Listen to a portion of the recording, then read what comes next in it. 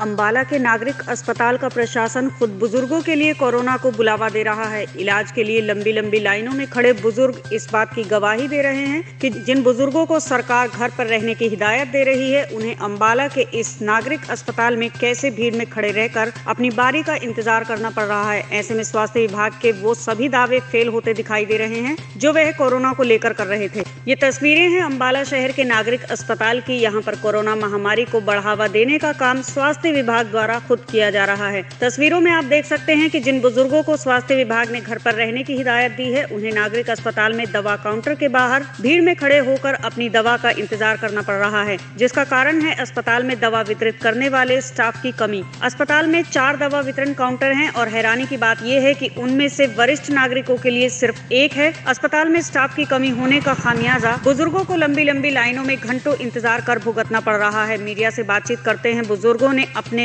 दुख को ज़ाहिर करते हुए प्रशासन से मांग की है कि उनके लिए अस्पताल में एक और दवा वितरण काउंटर की व्यवस्था की जाए। जहाँ स्टाफ की कमी है ऊपर से कोरोना आ रहा है। हमारे को एक घंटा हो गया खड़े होने को टांगों में भी दर्द होने लग गया।